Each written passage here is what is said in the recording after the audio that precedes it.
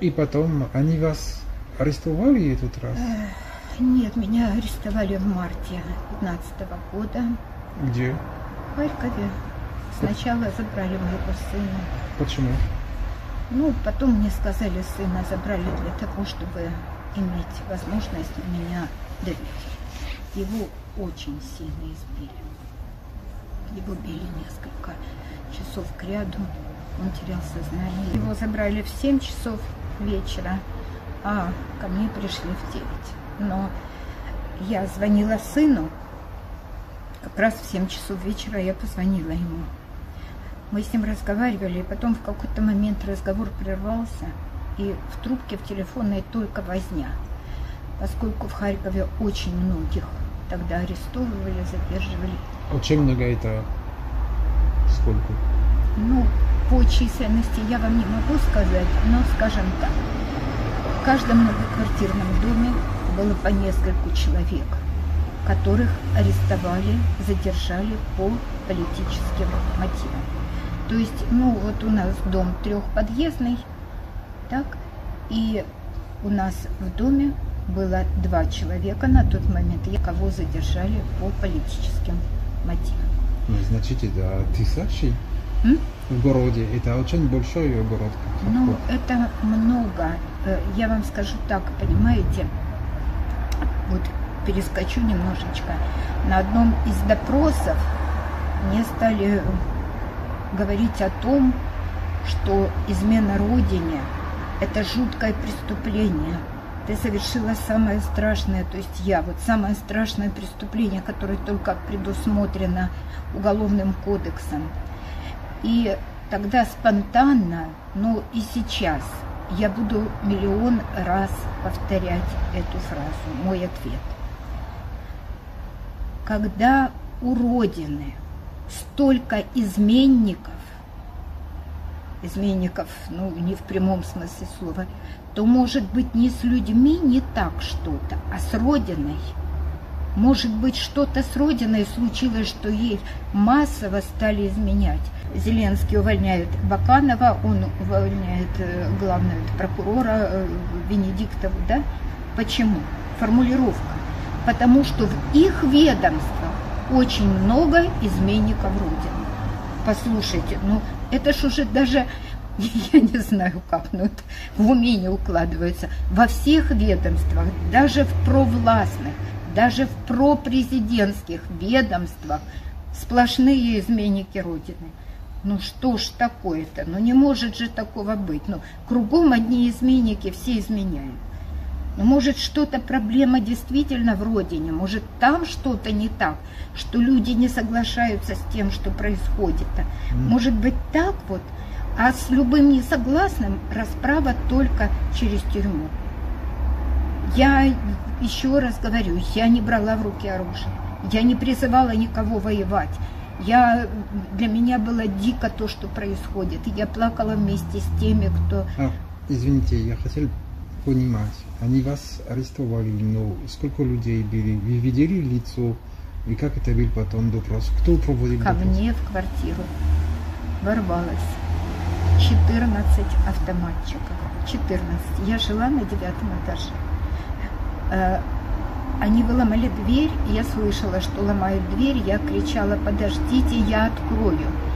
Девятый этаж. Я не могу никуда убежать, я не могу спрыгнуть с балкона, чтобы убежать, или как-то еще, понимаете? Вот, но тем не менее, дверь была выломана. А, 14 человек в балаклавах, 5 человек следователь, ну я потом уже узнала, что не следователи, они были с, от- с открытыми лицами. Были еще какие-то люди гражданские.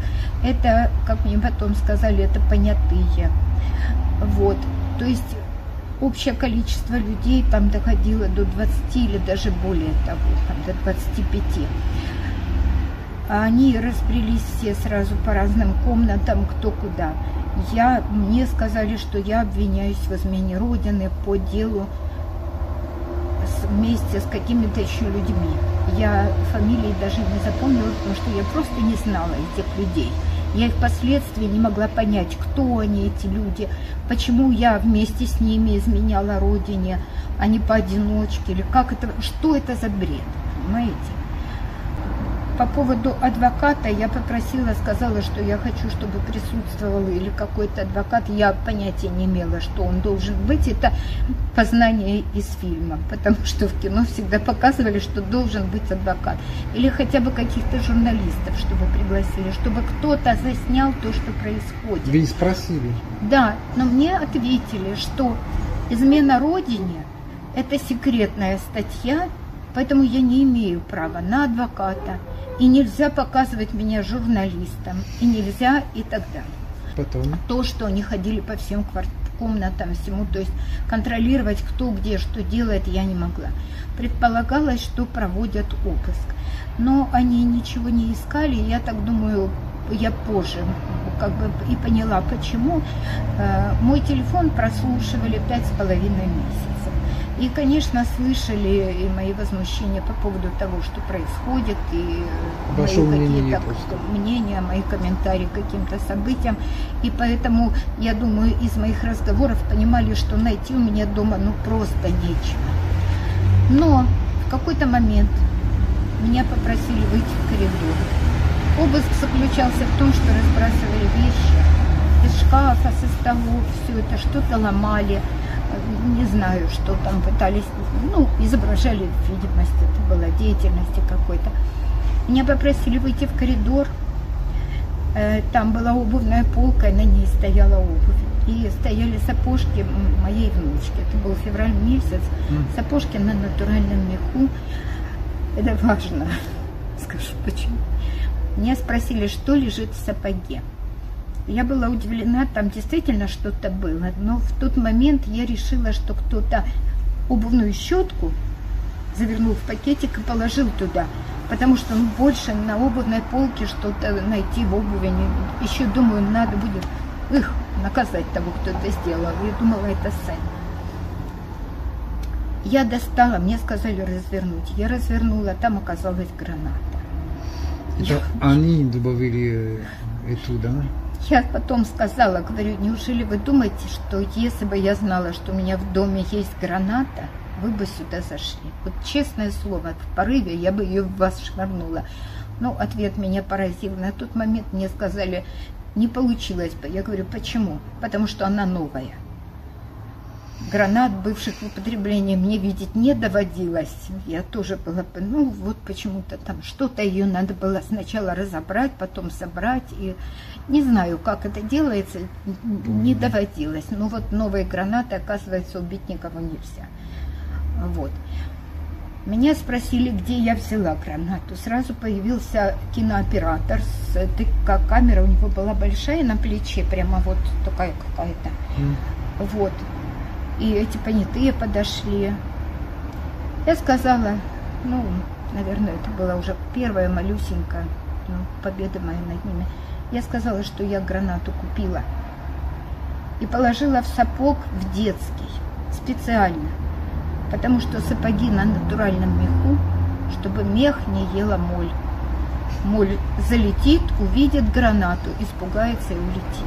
Камеру в этот момент выключили. И они поняли, что да, я несу чушь. Сначала они сами были удивлены, когда я сказала, что гранату купила, потому что ну, я ее, до того я ее в руки не брала. Я как бы, понимаете, ну что можно было ответить людям, которые, ну как я могу сказать, я, это не моя. Я забыл спросить, э, женщины были или только мужчины? Только Только мужчины? Даже это ненормально. Ну, так получилось. Нормального там вообще ничего не было. Конечно. Ночью меня увезли в СБУ. Первый допрос длился 37 часов. 7 часов? 37. 37 часов?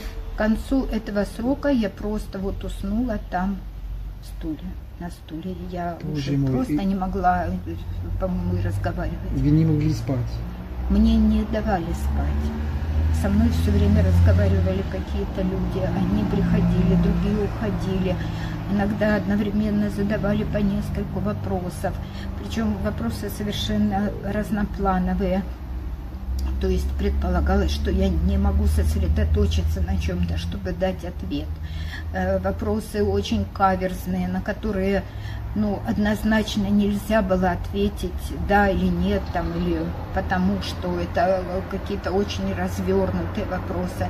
То есть для того, чтобы дать ответ, надо было дать ответ с пояснением, с каким-то... Вот просто сказать, да, я поехала, нельзя было, надо было что-то вот какие-то давать очень сложные пояснения, которые в свою очередь могли вызвать какие-то вопросы. Не хотелось мне Эм, как бы я не понимала э, ну, полного объема того, что мне инкриминируют. Мне предложили прочитать уголовный кодекс статьи, которые, по которым меня обвиняют, но этот уголовный кодекс, мне дали там несколько статей, которые меня инкриминировали, он был на украинском языке. А там, понимаете, ну, скажем так, я понимаю абсолютно украинский язык, но э, даже для человека, ну, скажем, э, неподготовленного на родном языке, вот какие-то нюансы возможно упустить. Это юриспруденция, там надо понимать тонкости. Конечно. И вот, скажем, 110 и 111 статьи, они очень похожи, не отличаются вот какими-то буквально нюансами. А мне предлагалось это все э, понять на этом украинском языке. Я попросила другую книгу дать мне с переводом, мне отказали. То есть, ну вот, даже понять в полном объеме то, что от меня хотят, не получалось. Вы были в офисе, в подвале, как это было? Я была в кабинете. В кабинете. К концу моего допроса я уже никакая была. В кабинет вволокли моего сына. Понять, что ты человек, было очень сложно. Он был избит до такой степени, что у него вообще, он весь был черный. Он был чернее этого дивана полностью лицо, у него были сломаны обе руки. У него, ну это уже потом выяснилось, были сломаны несколько ребер. Его били бесконечно, обливали водой и снова били. Он терял сознание, его снова били, приводили в чувство, давали отдохнуть и снова били. Там же в СБУ находилась секретная тюрьма. Там находились на тот момент военнопленные, я просто меня иногда привозили на допросы, и если следователя не было или он был занят, меня там запирали. Там было несколько камер, пять из них находилось очень много людей. Я их не видела. В дверях камеры есть такие вот окошечки, в них подают еду. Они так между заключенными называются кормушка вот, то с той стороны в щель меня можно было видеть. Я не видела людей, которые находятся там в камере, но я с ними со всеми тихонечко-тихонечко разговаривала. Конечно, когда проходил охранник или все, я закрывала рот, но э, вот разговор какой-то у нас, я спрашивала, кто, что, за что э, и так далее. Эти люди не были никак оформлены. На них то есть они нигде не числились. Их еще мы назвали потеряшки. То есть это те люди, которые вообще никак не были легализованы, даже в плане тюрьмы и заключения чего-то. Конечно, в СБУ велась какая-то, наверное, хронология, да, безусловно, на них какие-то дела заводились, но эти люди для всего остального мира были потеряны. Их не выводили на прогулки не приводили врачи к ним, э, ну, кормить кормили, там были ранены. Я знала, что вот в одной камере, например, был человек, э, который взорвался на растяжке, и он очень сильные боли, врачи к нему не приходили. То есть вот такое. Их там в камерах было в одной 14, а там по 12 человек. Последняя камера была маленькая, 9. Вот. Иногда туда кого-то привозили еще или наоборот оттуда возили. Было еще несколько камер, они были пустые. Иногда в этих камерах появлялись люди по одному, по два человека. Они там находились два-три дня и тоже куда-то исчезали. Их судьбу вообще понять тяжело было. Куда они девались, где они, что с ними происходило. Туда доступа в эту тюрьму. Сколько я, я знаю, что это сложно, но сколько людей били? В этой тюрьме? По, да, по войне. Сколько людей? Сто? Ну, 150? 170? Нет, э, в тот момент, э, ну, около 70 человек. Вот здесь. Это 5 камер, плюс вот те, которые, да, их иногда, я же говорю, бывало 68, бывало чуть больше 70. Mm. Э, ну, вот они там, кто-то находился очень долго, кто-то приехал их куда-то. И в вашем камере э, сколько людей были? И как вы спали? Кровать? В моей камере я была в СИЗО находилась. Я находилась не в СБУ. Меня в СБУ привозили только на допросы. Я находилась в Харьковском СИЗО. У нас камера была на 15 человек.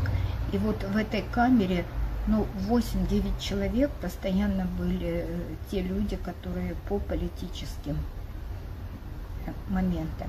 На тот момент Харьковское СИЗО, оно было рассчитано максимальной нагрузки на 3-3,5 тысячи человек.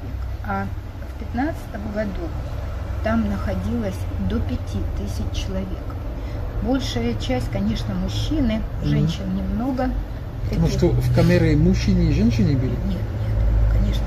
Корпус отдельный женский был и много корпусов, где мужчины. Очень много мужчин, было очень много политзаключенных. А, у них были камеры переполнены очень, они даже спали по очереди. И без матрасов, и без подушек. Это было. У нас ну, условия, конечно, очень прискорбные, но хотя бы э, у каждого была своя кровать. Хорошо. И они били всех, а вы тоже? А? Они были всех, а вы тоже? Э, били? Да. Вы знаете, по-разному было. Мужчин били очень. Там, конечно, я вам скажу, вот когда я бывала в этой секретной тюрьме, там в подвале на два этажа под землей был спортзал, большой спортзал. И били чаще всего там. Почему? Потому что он под землей и криком не слышно. Тут на этом этаже, где были камеры, там была душевая она, стены выложены были белой плиткой, а вот потолок, я не знаю, может быть э, водоэмульсионкой или чем-то просто вот белый, не плитка, не кафель. И высота потолков там была, ну вот где-то как вот здесь, наверное, метра три с половиной высоко. То вот потолок там, стены, видимо, смывали, а потолок был в крови. И очень часто старые пятна, они такие уже рыжие были, а вот свежую кровью нужно было лечь. То есть били так, что даже на потолке была кровь. Такое вот. Это, это я видела. Они мучили вас тоже? И такое было. И такое было. Иногда я очень дерзко отвечала, иногда отвечала так, что их мои ответы их очень не устраивали и задевали и их самолюбие. У них тоже были уязвимые места, и я понимала, что уже хуже, чем то, что со мной случилось, случиться не может, а поэтому иногда, знаете, давала себе волю. Меня однажды привезли на допрос 8 мая. Я вам расскажу историю.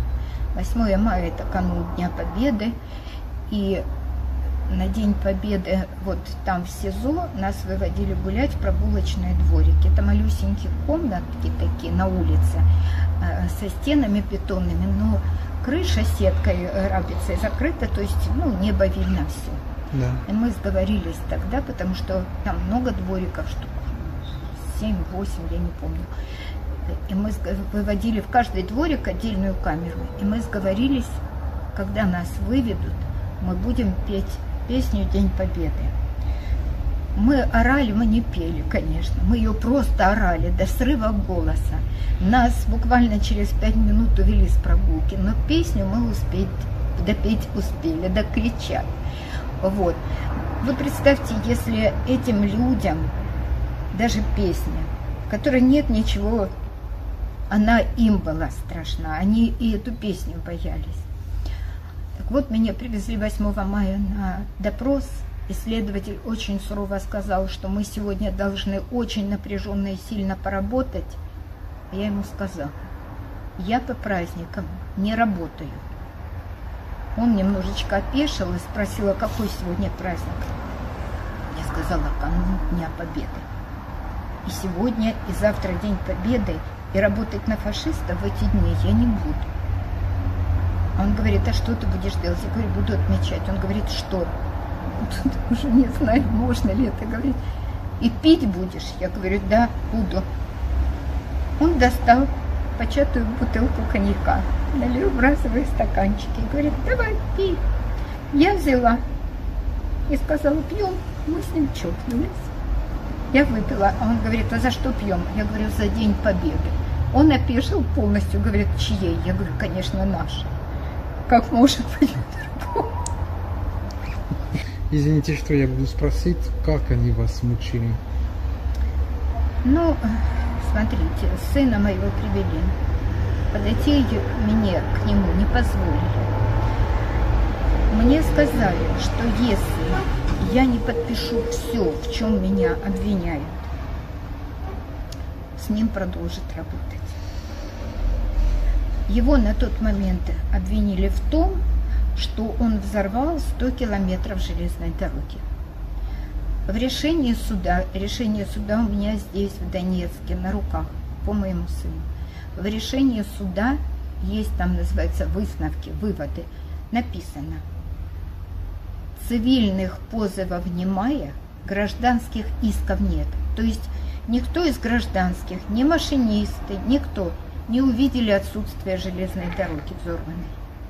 И материальной шкоды не причинено, то есть денежных каких-то проблем. А как можно взорвать 100 километров дороги? Никто не видит, что ее взорвали. Еще и материальной никакой. Вот скажите, пожалуйста, это нормально? В материалах суда написано, что его задержали в 19.00, в 7 часов вечера. А в 9 часов вечера того же дня он совершал взрывы. Находясь, то есть настолько вот э, материалы суда слеплены из э, придуманы, там столько нестыковок, что вот, но доказать там, Харькове, э, в момент правления вот, вот этой власти политизированной, где отсутствует вообще какое-то правовое поле, просто невозможно. Я ходила с этими документами здесь, и в ОБСЕ, и в ООН. А, сюда когда-то приезжали из Кореи тоже большая делегация, узники совести, и целая тут компания была собрана с какими-то там представителями из разных государств я и там показывала и объясняла о том, что это не правосудие, это не э, какие-то отношения между людьми, это ненормально, это просто вот тебя назначили, ты виновен. Почему? Потому что у нас должно быть пять виноватых. Никак не по-другому. Это не. Ну, значит, они брали вашего сына только чтобы, чтобы у них есть Э, э, да. против вас, да. потому да. что у них не, был ничего серьезно против него, да, он, он, он, он, он вам не, пом, не помог делать э, все эти нет, гуманитарные нет, миссии, нет, да? Он абсолютно политичный человек был на тот момент, он ни в чем, он никуда со мной не ездил, он не забир, собирал какие-то там деньги, он ничего не передавал, то есть вот так угу. вот это происходило. Мне все время говорили, что малейшее мое неповиновение или я в чем-то не соглашусь. Вот меня обвиняют вот в этом, и я должна соглашаться, что я в этом давать показания, что я виновата. Иначе снова мой сын окажется здесь. Когда мне вот его ввели и сказали, я попросила сына. Говорю, давай так, никакого джентльменства, вообще никакого. Нам вдвоем отсюда не выбраться. У меня шансов нет никаких. Если ты будешь на свободе, ты поможешь и себе, и мне. Поэтому, пожалуйста, все, в чем обвиняют тебя, перекладывай на мои плечи. В противном случае нам не выбраться отсюда. Мы тут сгинем вдвоем. А у нас так есть шанс. Все, чтобы... Потом я ему сказала, вы уж простите, но это то, что я ему дословно сказала. Танк на балконе мой, то есть я в этот момент я объясняла ИСБУ, что то, в чем они обвиняют, это бред, до дальше некуда. На балконе танк на девятом этаже стоять не может. Но я сказала, танк на балконе мой, и уж дальше, простите, и слона изнасиловала тоже я. Что бы ни говорили, какой бы бред ни несли, во всем виновата только я одна. Если даже ты что-то делал, то только потому, что я тебя заставляла. В противном случае нам не выбраться обоим. Мы оба здесь сгинем. Слава Богу, что сын внял моим просьбам.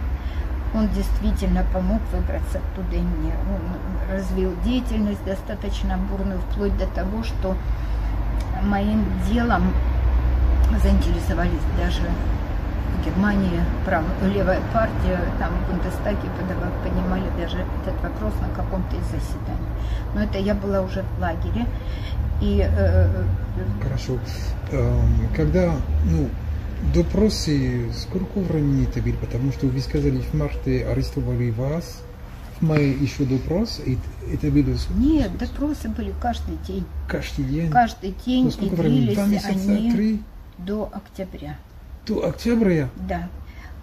Каждый день с утра выводили из камеры там в 6-7 утра, и приезжала я иногда за полночь из допросов. То есть, э, ну, спрашивали про каких-то отдельно взятых людей. Что ты о нем знаешь? Что он мог сделать против нас? Что э, вот, ну, вплоть до того, что хоть и придумай. Вот, задавали другие вопросы. В силу того, что я работала в милиции, предполагалось, что я где-то кому-то сливала какую-то информацию. Mm. Вот у тебя в телефоне фотография. Я говорю, хорошо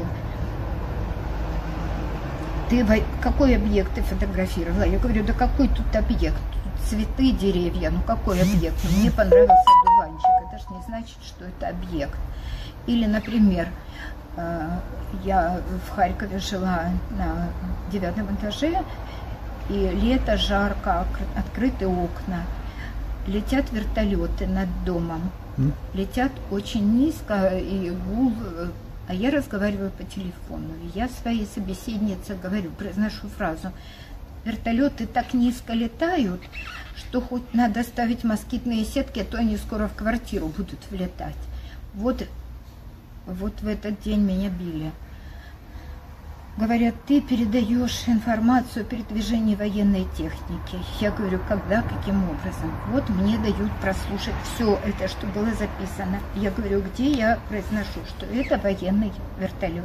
Где я говорю, что он летит из пункта А в пункт Б. Где по поводу военный вертолет. Можно подумать, ты не знаешь, какой вертолет военный, а какой нет. Я говорю, у вас что, есть мой диплом из вертолетной школы, что я сдавала экзамен.